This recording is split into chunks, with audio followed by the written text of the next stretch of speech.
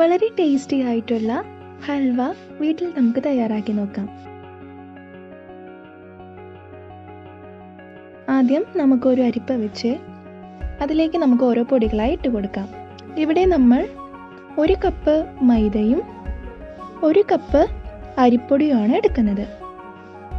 ഇതിലേക്ക് അല്പം ഉപ്പും കൂടി ചേർത്ത് നല്ലതുപോലെ ഇത് അരിച്ചെടുക്കാം.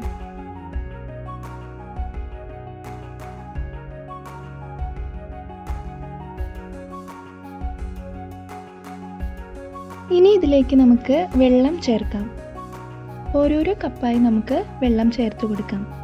ഹൽവ തയ്യാറാക്കുന്നതിന് വളരെ ലൂസായിട്ടുള്ള ബാറ്ററാണ് നമുക്ക് വേണ്ടത്. ആദ്യം തന്നെ നമ്മളിവിടെ രണ്ട് കപ്പ് വെള്ളം ഒഴിച്ച് മാവ് നല്ലതുപോലെ മിക്സ് ആക്കി എടുക്കുന്നുണ്ട്. ഇപ്പോൾ ഇത് നല്ലതുപോലെ മിക്സായി വന്നിട്ടുണ്ട്. ഇനി നമുക്ക് ഇത് കുറച്ചും കൂടി ലൂസാക്കി എടുക്കാം. അതിനായി നമുക്ക് ഇനി രണ്ട് കപ്പും കൂടി വെള്ളം ഒഴിക്കേണ്ടതായിട്ടുണ്ട്.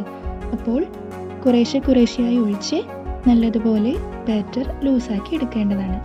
അങ്ങനെ നമ്മൾ രണ്ട് കപ്പ് പൊടിക്ക് നാല് കപ്പ് വെള്ളമാണ് ഒഴിച്ചു കൊടുത്ത് ബാറ്റർ തയ്യാറാക്കിയിട്ടുള്ളത്.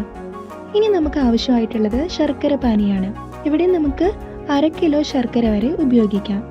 മൂന്ന് മുതൽ അഞ്ച് അച്ച് ശർക്കര വരെയാണ് നമുക്കിതിൽ ചേർത്ത് കൊടുക്കേണ്ടത്. ഞങ്ങളിവിടെ മൂന്നച്ച് ശർക്കര രണ്ട് കപ്പ് വെള്ളത്തിലാണ് ഉരുക്കിയെടുക്കുന്നത്. ഇനി നമുക്ക് ഈ ശർക്കര പാനി മറ്റൊരു പാത്രത്തിലേക്ക് അരിച്ചൊഴിക്കാം.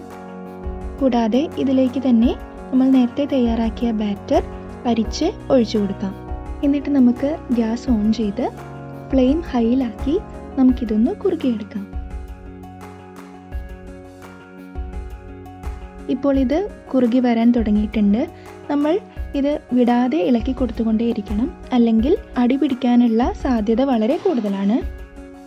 ഇതിനോടൊപ്പം തന്നെ നമുക്ക് ഇതിലേക്ക് ആവശ്യമായ ഓയിലും ചേർത്ത് കൊടുക്കണം.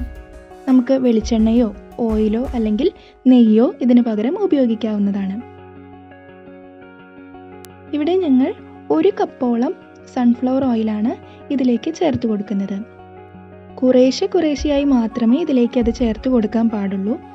അപ്പോൾ നമ്മൾ വിടാതെ ഇളക്കി കൊടുത്തുകൊണ്ടേയിരിക്കുക.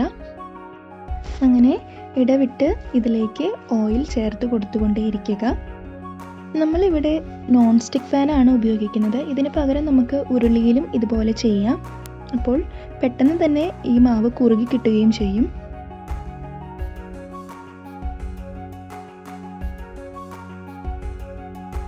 ഇപ്പോൾ ഇതാ മാവ് നല്ലതുപോലെ കുറുകി ചട്ടിയിൽ നിന്ന് വിട്ട് വരുന്നതായിട്ട് നമുക്ക് കാണാം. മാവ് കുറുകി വരുന്നതിനനുസരിച്ച് നമ്മൾ ഇതിലേക്ക് ഓയിൽ ചേർത്ത് കൊടുത്തുകൊണ്ടിരിക്കണം. എന്നിട്ട് നല്ലതുപോലെ മിക്സാക്കി എടുക്കണം.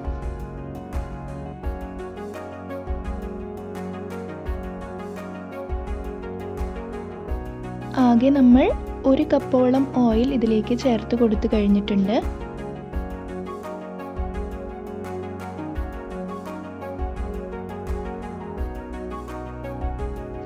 ഇതേ സമയത്ത് നമുക്ക് ഒരു കപ്പോളം ഷുഗർ ഒന്ന് കാരമലൈസ് ചെയ്ത് എടുക്കാം. ഹൽവയുടെ ഒരു റെഡിഷ് ബ്ലാക്ക് കളർ കിട്ടുന്നതിനാണ് നമ്മൾ ഇതുപോലെ കാരമലൈസ് ചെയ്ത ഷുഗർ ഇതിലേക്ക് ചേർത്ത് കൊടുക്കുന്നത്.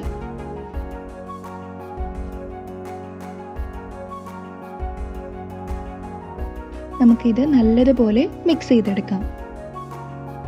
ഇതിലേക്ക് നമുക്ക് ചേർക്കാനായിട്ടുള്ളത് അല്പം ഏലക്ക പൊടിയാണ്. ഇവിടെ അഞ്ച് ഏലക്ക രണ്ട് ടേബിൾ സ്പൂൺ പഞ്ചസാരയിൽ പൊടിച്ചതാണ് നമ്മൾ ചേർത്ത് കൊടുക്കുന്നത്. ഇത് നമുക്ക് നല്ലതുപോലെ ഇതിലേക്ക് മിക്സാക്കി എടുക്കാം. ഈ ഹൽവയുടെ ഒരു പാകം എന്ന് പറയുന്നത് ഇതിലേക്ക് ഒഴിച്ചു കൊടുത്ത ഓയിൽ ഇതിൽ നിന്ന് തന്നെ പുറത്തേക്ക് വരുന്ന ഒരു അവസ്ഥ ഉണ്ടാകും. ആ ഒരു സമയത്താണ് നമുക്ക് ഈ ഹൽവ പാകമായെന്ന് മനസ്സിലാവുന്നത്. ഇപ്പോൾ നോക്കിയാൽ കാണാം നമ്മൾ ഒഴിച്ചു കൊടുത്ത ഓയിലൊക്കെ ഇതിൽ നിന്ന് പുറത്തേക്ക് തെളിഞ്ഞു വരുന്നതായിട്ട് നമുക്ക് കാണാൻ പറ്റുന്നുണ്ട്. അപ്പോൾ ഈ ഒരു സമയത്ത് നമുക്ക് സ്റ്റൗവ് ഓഫ് ചെയ്യാവുന്നതാണ്. ഇനി നമുക്ക് ഹൽവ ഇടുന്നതിനായിട്ട് ഒരു പാത്രം ആവശ്യമാണ്. ആ പാത്രത്തിൽ അല്പം എണ്ണ തടവിയ ശേഷം വറുത്ത് വെച്ചിട്ടുള്ള അണ്ടിപ്പരിപ്പ് നമുക്ക് ഇതിന്റെ അടിഭാഗത്തായിട്ട് ഇട്ട് കൊടുക്കാം.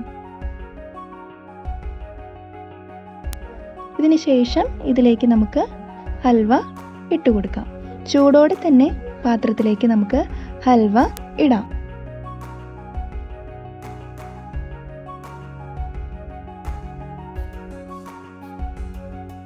ഹൽവ മുഴുവനായി ഇട്ട ശേഷം നമുക്ക് കയ്യിൽ ഉപയോഗിച്ച് ഒന്ന് അമർത്തി കൊടുക്കാം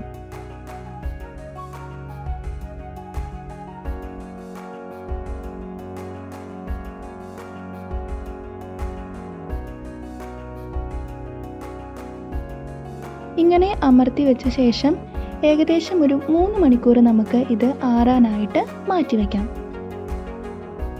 ഇപ്പോൾ മൂന്ന് മണിക്കൂർ കഴിഞ്ഞിട്ടുണ്ട്. ഇനി നമുക്ക് ഇതൊരു പ്ലേറ്റ് ഉപയോഗിച്ച് മറ്റൊരു പാത്രത്തിലേക്ക് മാറ്റാം.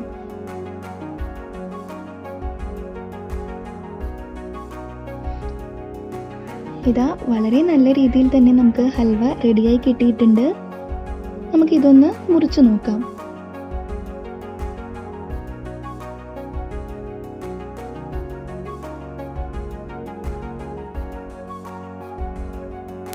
ഇതാ വളരെ സോഫ്റ്റ് ആയിട്ടുള്ള വളരെ ടേസ്റ്റി ആയിട്ടുള്ള ഹൽവ ഇവിടെ തയ്യാറായിരിക്കുകയാണ്. എല്ലാവരും ഈ റെസിപ്പി മറക്കാതെ ട്രൈ ചെയ്ത് നോക്കി. അഭിപ്രായം കമന്റ് ബോക്സിൽ അറിയിക്കുക.